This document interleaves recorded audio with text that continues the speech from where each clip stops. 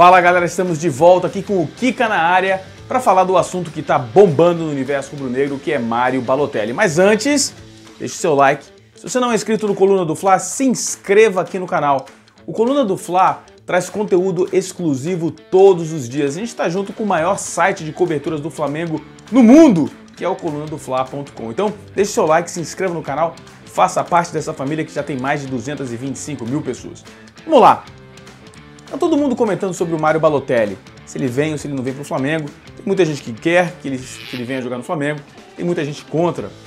Mas a discussão está é, tá sendo um pouco mais complexa, porque as pessoas não estão falando dele dentro de campo, as pessoas estão falando dos problemas que ele tem fora de campo, sobre ser bad boy. Nós fizemos um vídeo aí aqui no Kika na área também, falando aí algumas curiosidades do Balotelli, e a grande maioria dessas curiosidades foram coisas que ele fez fora de campo. Então se liga aí, tá aí na descrição é desse vídeo também o link para esse outro vídeo do Balotelli, então curiosidades lá. A questão de chamá-lo de bad boy é, é um, um, problema também dentro de campo. E a gente vai falar sobre isso hoje. Mas voltando à discussão sobre o Balotelli jogar no Flamengo ou não, é, nós estamos adquirindo um nível de discussão, nós torcedores do Flamengo, muito acima do resto do Brasil. Porque a discussão não deve ser apenas da qualidade do jogador. O jogador é bom jogador. Ponto final. Ele é muito bom jogador, na verdade. Uh, mas a gente tem que fazer uma discussão baseada no planejamento, que é aquilo que eu acredito como sendo a melhor coisa para o Flamengo, um planejamento de médio e longo prazo. E a pergunta não é apenas se ele é bom jogador, se ele é um bad boy, mas a pergunta que a gente vai responder hoje, além dessas duas também, é a seguinte: ele se encaixa no esquema de Jorge Jesus? Ele vai ser útil no esquema que, que o Jorge Jesus, o Mister, está querendo implementar no Flamengo? E é isso que a gente vai comentar hoje aqui no Kika na área. Antes da gente entrar na. A gente vai mostrar uma mesa tática aí com mapa de calor e etc. Mas tem uma coisa mais legal pra gente comentar, ou tão legal quanto, que é a questão do bad boy, né? Que é o que chama atenção mesmo. Eu, na verdade, vou dar minha opinião aqui. Eu não me importa muito a condição do jogador fora de campo, desde que ele entre em campo e resolva. A vida particular do jogador não me interessa. É, desde que ele esteja preparado, esteja apto todos os dias de treinamento a treinar e que entre em campo, soe a camisa e se dedique o máximo possível. E aparentemente o Balotelli faz isso, tá? A questão de ser um bad boy dentro do campo é outra. Ele é um jogador que é, é admoestado, que toma muitos cartões amarelos e vermelhos também. Olha só, vocês lembram do Gemerson, aquela história que a gente falou do Gemerson, jogador do Mônaco que talvez viesse jogar no Flamengo? Pois então, o Gemerson que é um zagueiro, toma um cartão amarelo a cada 278 minutos. Esses são os dados da temporada passada do Campeonato Francês.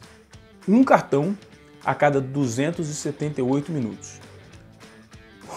O Balotelli toma um cartão amarelo a cada 180 minutos. Essencialmente, ele toma um cartão amarelo a cada dois jogos. Isso quer dizer que a cada seis jogos a gente vai perder esse jogador por é, suspensão. Ele vai ser suspenso por cartões amarelos. Se a gente comparar com o Neymar, por exemplo, na temporada passada do Campeonato Francês, o Neymar tomou um cartão amarelo a cada 722 minutos. Ou seja, isso é sim um problema. Imagine que, nós não, que a gente não possa contar com um jogador a cada seis jogos que ele está suspenso com cartão amarelo. Isso sim é um grande problema. A gente vai ter que administrar, a gente vai ter que conversar com ele. A questão dos cartões é diferente na América do Sul, ah, a questão das faltas é diferente. E a gente vai entender um pouco mais a razão pela qual o Balotelli toma alguns cartões. Alguns são por reclamação, por indisciplina, mas outros são por falta, é, falta no jogador adversário, faltas muito duras. Então, a gente, pra gente falar um pouco mais do Balotelli, a gente agora vai olhar a mesa tática. Se liga aí. Então, galera, esse é o time que eu imagino que seja o time principal do Flamengo pro resto da temporada é, Diego Alves, Rafinha, Rodrigo Caio e Maria. Não sei exatamente como eles vão se acertar, mas eu acho que o Rodrigo Caio vai cair pela direita. Felipe Luiz Cuejar. O Gerson ali no meio, ele, eu acho que ele foi contratado para aquela posição mesmo. Tá? O Gerson, Everton Ribeiro pela direita, Rascaeta pela esquerda, Gabigol e Balotelli. Uh, a gente vai comentar aí também a respeito de como deve jogar o time do Flamengo. Mas antes da gente entrar nessa movimentação, a gente vai mostrar algumas movimentações do Balotelli enquanto jogador do Olympique de Marseille, tá? A gente separou para vocês três mapas de calor de três jogos diferentes, claro, claro, e vamos mostrar como ele se comporta, qual é a movimentação do Balotelli no ataque, tá? Você vê que no primeiro jogo ele joga mais caindo pela direita, uma movimentação para a direita. No segundo, ainda assim mais pela direita, mas também com uma movimentação mais centralizada, pouca movimentação na esquerda. E no, no terceiro jogo, mais bem mais distribuído por todos os lados do campo. E aí depois a gente colocou todas, todas as, os mapas de calor, todos combinados, para você ver que ele é um jogador que de fato tem uma movimentação muito é, diversa. Ele se move pelo todos os lados do campo, cai mais pela direita do que pela esquerda, mas também faz algumas movimentações pelo lado esquerdo do campo. Eu acho até que dá para adaptar ele, eu acho que ele consegue render também jogando pela esquerda. O que nós vamos ver aqui agora é o seguinte: é uma movimentação mais tradicional do Flamengo, como o Jorge Jesus quer implementar, com o, o Balotelli sendo os, o homem finalizador, o centroavante e o Gabigol fazendo essa movimentação caindo pela direita. Então, a movimentação que vocês já viram, a gente já fez essas triangulações aqui, é só uma triangulação hipotética, mas detalhe Prestem atenção na movimentação do Balotelli, como o Balotelli se comporta no campo. Aqui, ó, o que a gente tem visto nessa, nessa movimentação do Balotelli, vou mostrar aqui para vocês, vou desenhar para vocês verem. O Balotelli nessa movimentação aqui joga totalmente centralizado. Ele é o homem centralizado, tá? Você vê que o Gabigol nesta posição abre espaço, tá? Ele se movimenta da parte mais uh, próxima da linha de meio de campo, se direciona ao gol, abre um espaço aqui que é ocupado pelos jogadores é, de meio campo. Tá? Vamos continuar a jogada aí para a gente ver. A jogada continua, continua normalmente e aí a finalização do Palotelli. Aí você tem a visão 3D, não tem muita diferença, é a mesma jogada em 3D. É claro, a gente não prestou, não dedicou a mesma atenção a defesa porque a gente está mostrando a movimentação ofensiva. Mas agora vem a parte mais importante. E a parte mais importante é a defesa. Tá? Como o Balotelli vai se comportar numa situação de defesa. E aí o que a gente tem aqui é, um, é uma situação ligeiramente diferente. O que a gente vai ver aqui é o seguinte: nós temos uma linha de três jogadores, tá? Essas, essa linha de três jogadores, no caso, o Arrascaeta, o Balotelli e o Gabigol. O Gabigol sendo o homem que vai marcar o zagueiro aqui, e esse zagueiro normalmente são os zagueiros que recebem a bola numa saída por baixo, tá? São os zagueiros que são responsáveis pela saída de bola.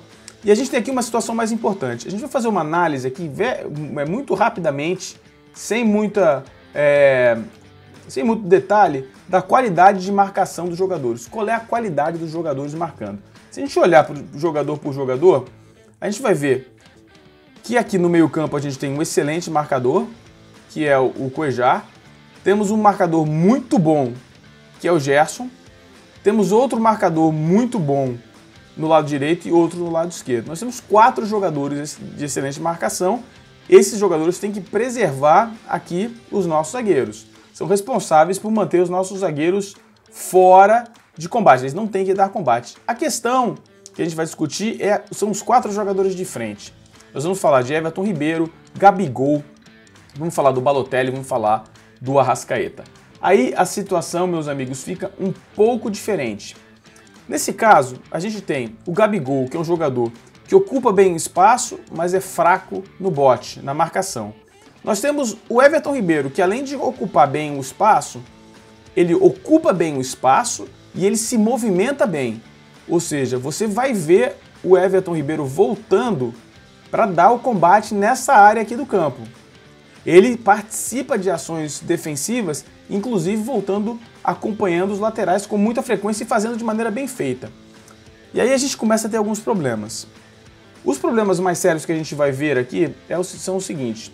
O primeiro problema que eu considero sério é o Arrascaeta.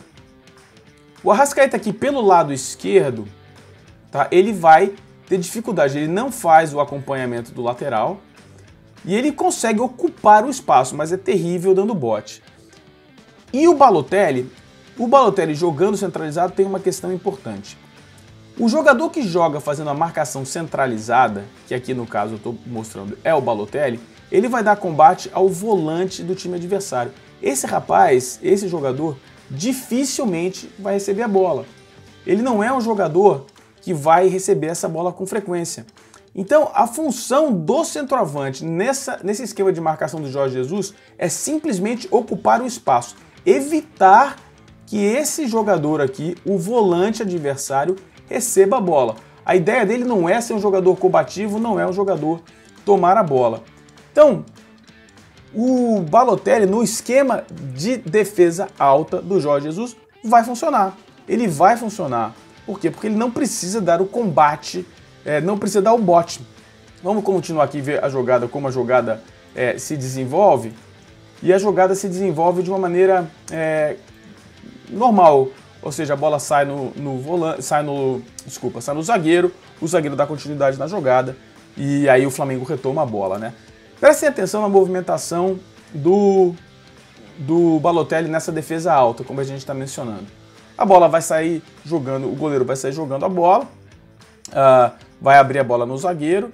Reparem, ele só acompanha o volante e se apresenta para concluir a jogada. A gente vai ver essa jogada aí em 3D, é a mesma coisa, é muito parecido, não tem muita, muita diferença. Repare na movimentação dele. A, a, o objetivo do Balotelli nessa movimentação é simplesmente acompanhar o volante. Então, a questão é a seguinte: se nós exigirmos que o Balotelli abra na lateral e dê o combate, dê o bote, ele não é bom nisso. E essa é a razão pela uma das razões pelas quais ele, ele recebe muito cartão amarelo. Porque ele não tem esse cacuete de marcador. Ele não é bom dando combate, muito pelo contrário, ele é muito estabanado.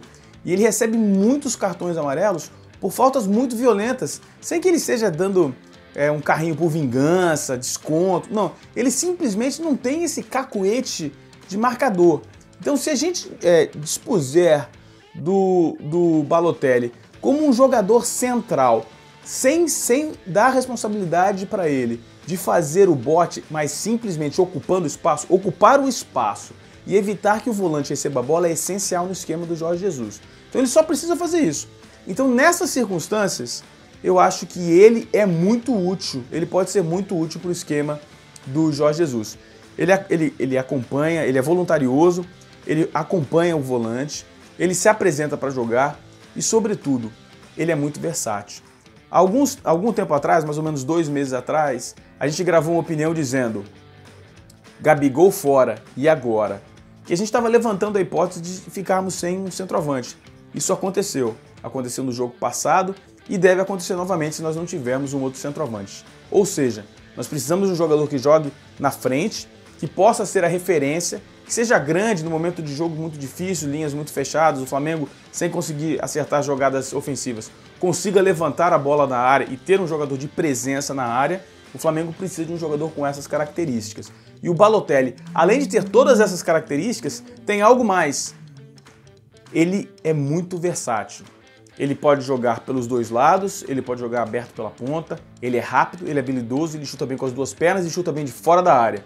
Juntando todas essas características, apesar dele ser um bad boy dentro de campo também, ele é um jogador que serviria muito para o Flamengo e se encaixaria perfeitamente no esquema de Jorge Jesus. Então, quando você ouvir a discussão aí fora dizendo, ah, é bad boy, preste atenção e veja se essa pessoa é, está comentando sobre a parte tática, se o, o Balotelli funciona no esquema de Jorge Jesus.